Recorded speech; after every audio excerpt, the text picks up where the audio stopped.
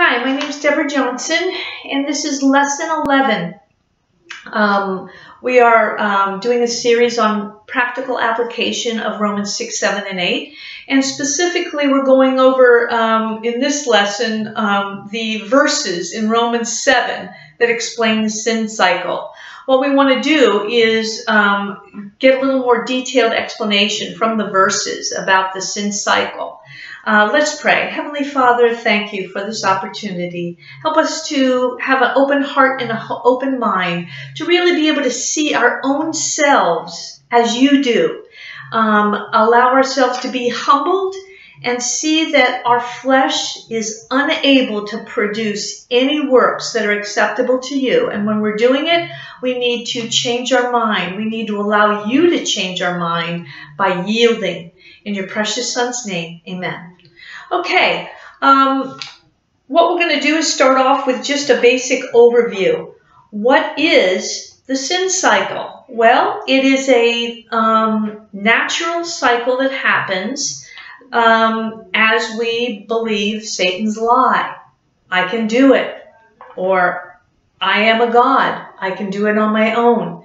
Um, we do this without any real training. It is just how we respond. And the pathways in our brain get reinforced by our experiences. We do it over and over and over so that we don't really see what we're doing. what God's doing by bringing in the law is it helps to show us that we're sinners and we fall short. Um, sin remains no matter how hard we try. Uh, it prompts more depravity and we get angrier and angrier. It's a cycle and it never ends. In fact, it gets more grievous. The more we put it aside, the more angrier we get and it, the more it spills out and uh, kind of like you holding your finger in a dike and once it's the pressure builds to a certain point it just bursts out all over everything. And that's what happens. We can fool ourselves for a while but really we just can't keep the law. Um, okay. It, you know, the law also seems to be a, like a dangling carrot. It is keep it keeps being held out in front of us, and we look at it and think, ah, I can get it, I can get it, I can if I just try harder. And that is Satan's lure. It's the lie that we can do it ourselves and don't need God. Um, usually, if we do finally resolve that we need help from God, it's usually some major event like uh, the Twin Towers um, being um, burned down. Um, everybody is talking about God and praying for God's help and, and this for that very short period of time. All of a sudden, there's God in their lives. And then as soon as they get past that, God set aside, they go on living uh, on their own. We all do it and but that's a good visual example um, that everybody can look back and see and notice. Everybody's verbiage changed during that time. Everything was about praying and, and blessing you and um, uh, being concerned for their, their brothers and sisters. But um, after that, it just kind of went back, it lulled back to sleep into that same system. Okay. Um, Try as we may, the law is elusive and frustrating. Um, in the Old Testament, there's many, many examples. One good example of someone understanding um, that they can't produce any good on their own is in Genesis 17 when God asked Abraham, Walk before me and be thou perfect.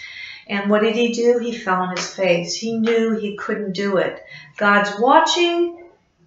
He, he knows the perfect standard better than anyone. He'd see any little mistake, and Abraham didn't even try. He fell on his face. However, the opposite, Israel, uh, the nation Israel, uh, when God tried to test to see if they understood what he was teaching them, um, instead of falling on their face, they said, all that we that thou sayest we will do. And in the forefront, it seems like, gee, that was a good response. They're going to try. But that's not what God wants. He wants their heart. He wants their heart abased, humbled, and exalting Him as God. When they say, we will do it, they're exalted and their works are exalted. And we know what their, their works are. They're filthy rags to God. That's what Isaiah says. Um, there's many examples uh, in Matthew 6 5. We see the Pharisee exalting himself when he's praying so everyone can see him and, and give him ex- exaltation and uh, adoration for all the prayers that he's doing. Um, the Lord Jesus Christ said he will get his reward in this life, he won't get it in the next life. Um, similarly, let's go to Luke 18, 9 through 14, and see an example uh, of many examples. um, verse 9. And he spake this parable unto certain which trusted in themselves that they were righteous and despised others. Two men went up into the temple to pray, the one a Pharisee and the other a publican. The Pharisee stood and prayed thus with himself God, I thank thee that I am not as other men are, extortioners, unjust, adulterers, or even as this publican. I fast twice in a week. I give tithes of all that I possess. Now, that's an exceedingly high minded, he's trying to be good. He's trying to be better than everyone else, comparing himself with others. He's not wise. And let's see what the publican says in verse 13. And the publican standing afar off would not lift up so much as his eyes unto heaven, but smote upon his breast, saying, God be merciful to me, a sinner. I tell you that this man went down to his house justified rather than the other, rather than the Pharisee. For every one that exalteth himself shall be abased, and he that humbleth himself shall be exalted. You know, we see a similar thing in Romans 2. Uh, the Apostle Paul um, helps bring home this same idea. Uh, Romans chapter 2, verse 28. For he is not a Jew, which is one outwardly, neither is that circumcision, which is outward in the flesh but he is a Jew, which is one inwardly. And circumcision is that of the heart, in the spirit, and not in the letter, whose praise is not of men, but of God. God wants your heart attitude. He wants it to come from here. Abraham, he he wasn't going to exalt him, his himself. He decided to humble himself and exalt God, and that's what he wanted. He had the heart attitude of faith, um, and that's what God wants for for us. However, the sin cycle is the exaltation of self and, and, and our own efforts, our own works, to be to be seen of men, to be seen as righteous, to its religiousness is what it is, man's efforts unto God. And that's really what uh, what he's doing. He's holding forth his efforts as a sacrifice to God. Look what I've done. And that is unacceptable. That's the sin cycle. when will it stop? It'll stop when we hit rock bottom, when we realize we just cannot do it. We will continue Satan's lie, I can do it, and we will have a grievously empty life with no rewards for any of that. And it's very tiring our, our efforts and frustrating, and we become angry and bitter. Uh, this process will continue until we finally admit that we need God. The lies ties us up, binds us as a slave to sin. Um, we are not able, and we're not we're not able to continue the righteous standard of God or even start the righteous standard of God, and it eludes us and it deceives us. We sometimes trick ourselves into thinking that it's acceptable when it's not. Okay, let's go to Romans 7 now, and we're going to read through the verses, and we are going to actually look at the sin cycle, and we're going to go step by step um, I hope you have your handouts. I, I hope you're looking at them as we go through each step. And we're going to move along and go through the verses.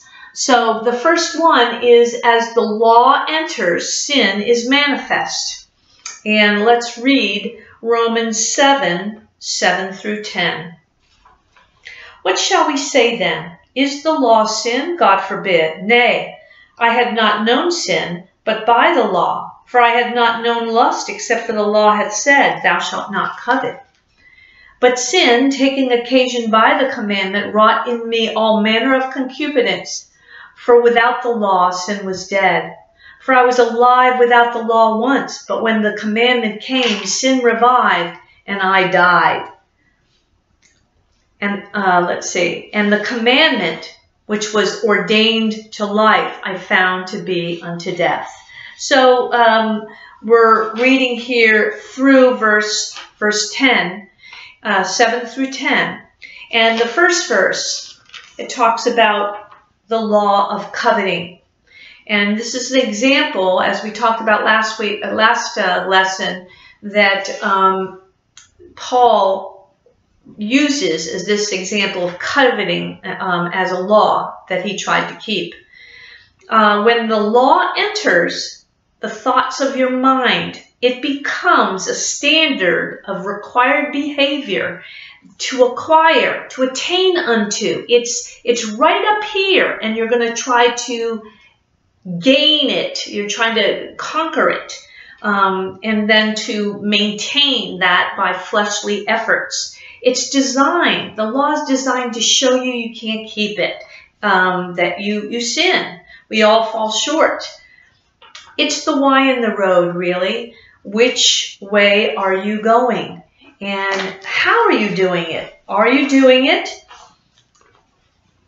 Are you doing it as a believer, walking by faith, or are you doing it following sin, the path of sin, um, in your own efforts by the law.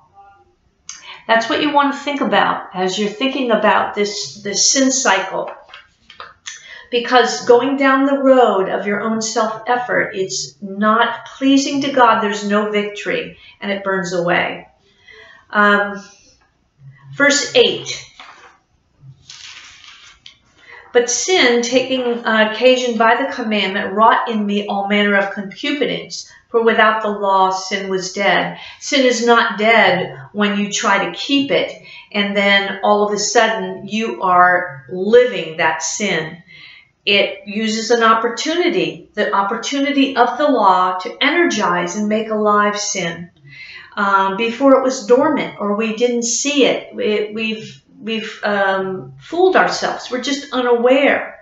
Verse 9, for I was alive without the law once. As you're walking down that path of godliness, um, what's, what's happening is you're alive and you're living unto Christ. Christ is living in you and through you. However, when this, when sin, sin enters, when it comes, sin revives and you die. And so that's anything that you're producing burns away.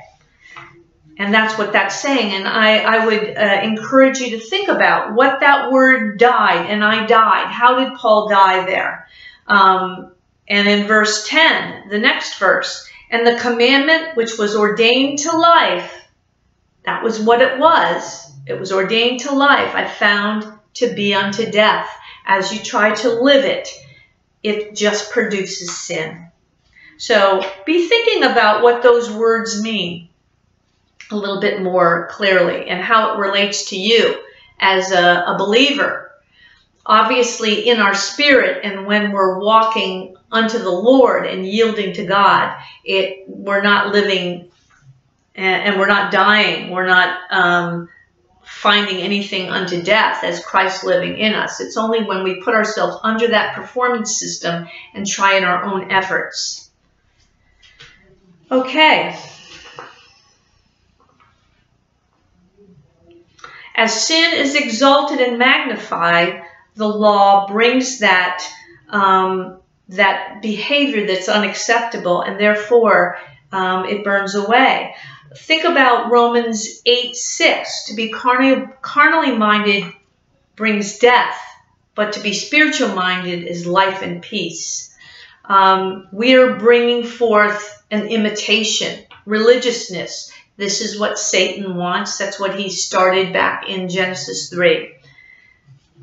Okay. The second, after the law enters, the second second issue is self-exaltation. And we're trying in our own effort in, in uh, Romans 7, 11. For sin, taken occasion by the commandment, deceived me, and by it slew me. Uh, Paul's Paul's um, spiritual life was it was it functioning the way God meant it to, or was was he off track now? He was off track and he was living unto sin and death. It, there was no fruit produced any longer in that area of his life as he's coveting and he's trying to stop that coveting. so, as we, um, the commandment manifests our efforts, it's a deceiver. And um, our, our pride gets in the way and we become blinded to the truth. And we still see that carrot and we still try going down that um, to the left of the Y in the road we try to um, gain acceptance from God really to be as gods as uh, Adam and Adam and Eve did um, it's a, a time waster um, and it steals all our energy and our focus. And now we're no longer living unto Christ, but we're living unto our flesh. it's putting putting on display the opposite of what Christ wants put on display. Christ is being put on display in and through us, His Word, uh, when we yield to Him. But when we are under the law, when we're in this sin cycle, this this spiral downhill sin cycle, we're really putting on display man's way and religion. And so, verse 12. Wherefore the law is holy, and the commandment holy and just and good. Uh, we can't blame the law for anything. There's no fault to be found in the law. It's perfect and righteous. Um, it's really in our own self.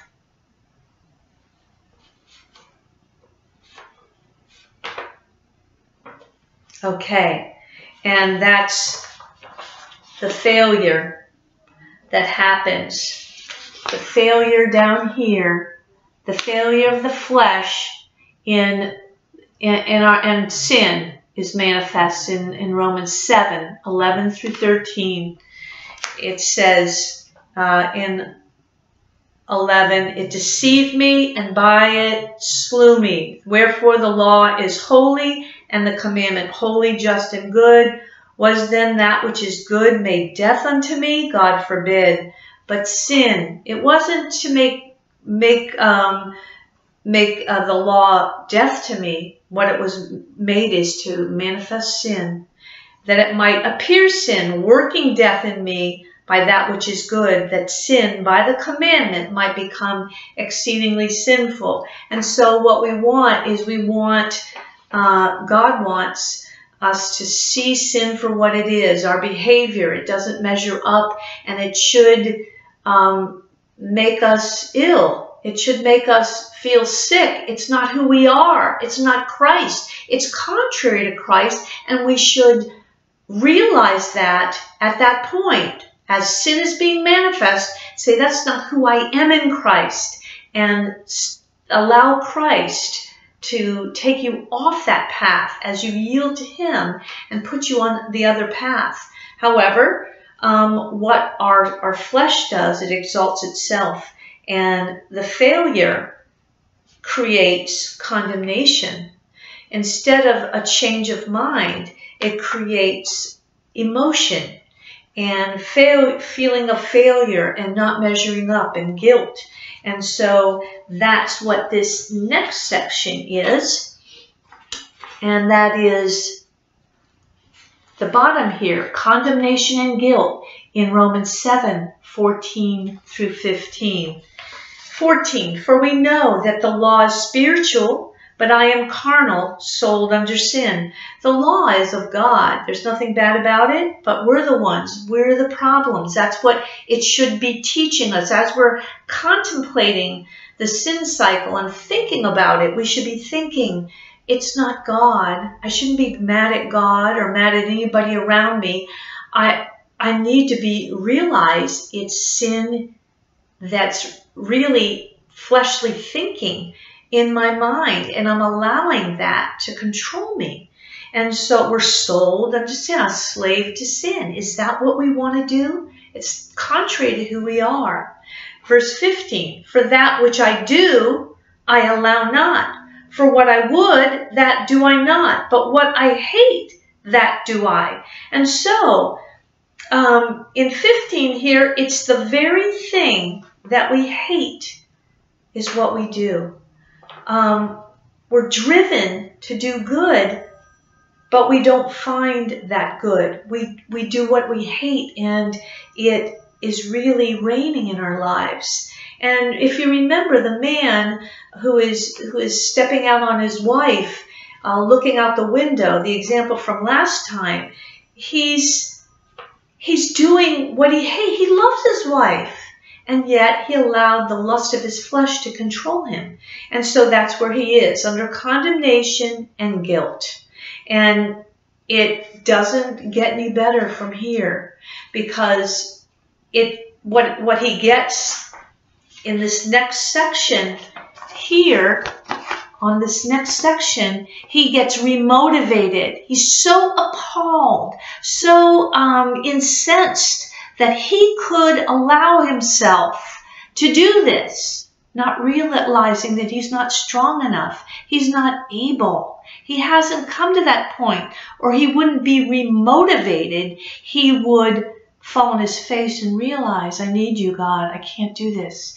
But until he, he falls on his face, until he realizes he's going to keep going through this cycle over year after year sometimes, I can relate to small issues like yelling at your children uh, and getting a bad habit of, of walking down the flesh of, of uh, raising your voice to your children, or it could be, you know, drug addiction or um, cheating on your wife or cheating on your husband.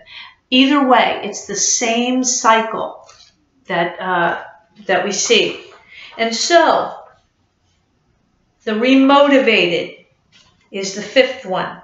Um, it's, it's verses 16 through 21. In 16, if then I do that which I would not, I consent unto the law that it is good. When you actually engage in living according to the law, you're saying it's good and right and it works. And until you step off that path, until God, you yield and allow God to, to take you off that path, you're saying it works and it's, it's the right thing to do. And you are exalted and you are playing religion. Verse 17, Now then, it is no more I that do it, but sin that dwelleth in me.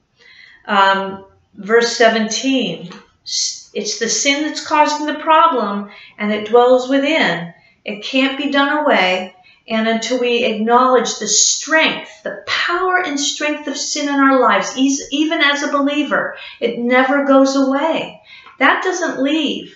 It's, it's the fleshly thinking that's still in our mind. That's why God says, have your mind renewed. If you don't renew the, your mind daily, that comes back as our default. verse 18. For I know that in me, that is, in my flesh dwelleth no good thing. For to will is present with me, but how to perform that which is good, I find not. You can try every avenue, every trial, get remotivated to, to attempt it in a different way, reinforce yourself, pull yourself up by the bootstraps. However, in me that is in my flesh dwelleth no good thing. If we can understand that, it's dung, it's filthy rags. Whenever we do it, from the little things to the big things, they just burn away. And so what we want to do is have a life pleasing to God and yielding to Him. Uh, verse 19, For the good that I would, I do not, even though you might have the heart, the desire to do it. Your flesh is unable. But the evil which I would not, that I do over and over and over. It can be very frustrating as a grace believer, knowing all these, this data, this doctrine, understanding some things, the verses, but it's not here to live it out. It's elusive. It seems like we just can't access it because we need to think differently. We need to think God's way. Okay, so um, Verse 20. Now, if I do that which I would not, it is no more I that do it, but sin that dwelleth in me. God's, God separated us from sin. And it is no more I that do it, it's sin that dwelleth in me. If you don't recognize that, you'll see both as one and you will be continuing in the condemnation. You are separated. That sin is not who you are. Christ in you. You're a new creation. That's who you are. Verse 20, uh, let's see. 21. I find then a law that when I would do good, evil is present with me. No matter how hard we try, even when we give money to the poor, there is an aspect in us looking for adoration, looking for something that will exalt the flesh when we do that. If we're doing it in our flesh, we can't do anything, not even giving money or helping people, unless we're yielding to God and allowing Christ to manifest himself by his word in and through us. So we find ourselves again at the, the, the next step, failure. Failure and sin is manifested again, and there's self, there's condemnation, guilt, and powerlessness. We we can't we can't do it, and we're just going to keep up with this cycle over and over and over. Um, it's the same thing. And this last one is verses 22 through 23. Um, it says, For I delight in the law of God after the inward man but I see another law in my members warring against the law of my mind and bringing me into captivity to the law of sin, which is in my members. And that's where this person is, um, where we all are. We're in captivity to the law of sin that's in our members. However, God wants us to use our members for Him. He wants our members quickened. He wants us to be able, the deeds of this body, to bring forth fruit unto righteousness. So what we do is we come to the point where, it, where we're in verse 24 and it says, O wretched man that I am, who shall deliver me from the body of this death? Help me. Who's going to help me, Lord?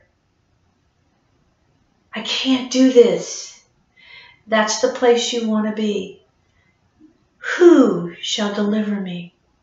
The answer is the next verse. It gives you a, a glimpse of what he's going to go over in chapter 8. I thank God through Jesus Christ our Lord. So then with the mind, I myself serve the law of God, but with the flesh, the law of sin. The problem, as we walk down this road, we're serving the law of the flesh. That's not the, uh, but with the flesh, the law of sin. That's what the verse says. But what we do to serve Him is with the mind we serve the law of God. And so we have to think differently, and we need that renewed mind. Um, uh, remember from last time, um, recall that mountain of treasure that I, I stored up as a kid of my good works. And I realized it was all that treasure with filthy rags accumulated over those years of all my good works and they all burn away. It's a dunghill. It was just so mind altering, mind blowing, really, but it helped me to see God's perspective, Christ and his life.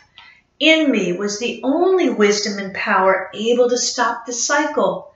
If we continue on our own, if we don't fall on our face and go to Him in prayer and uh, realize it's His Word working in us, we'll stay stuck in that sin cycle and not gain victory.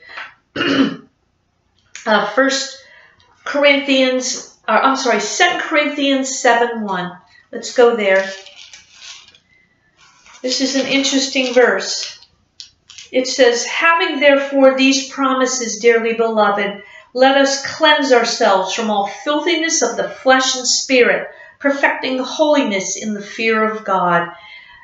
It says, cleanse ourselves from all filthiness of the flesh and spirit. Our spirit is tainted. It's tainted by the pattern of fleshly works that we're living and our we live out our flesh and that's not what we want to do. We want to perfect holiness in the fear of God. There's only one way to do that, and that is with a renewed mind. Think about that verse. That's a powerful verse.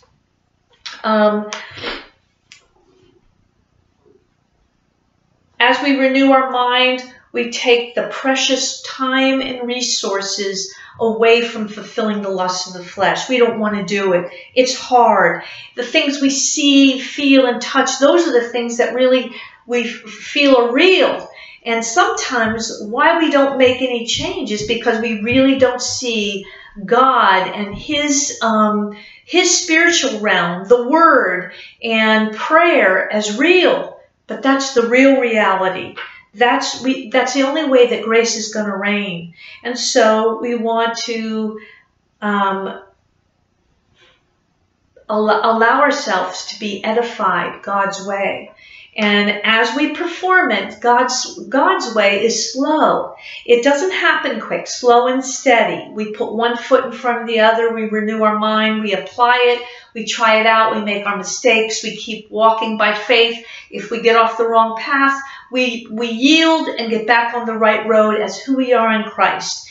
And we're each time we do that, we're a little wiser, we're a little stronger. We we are able to walk a little more godly in, in, in on the godly path and produce uh, fruit unto holiness. And really, God is silently waiting. He's not screaming at us like our flesh is screaming at us to do all the things we ought not to do.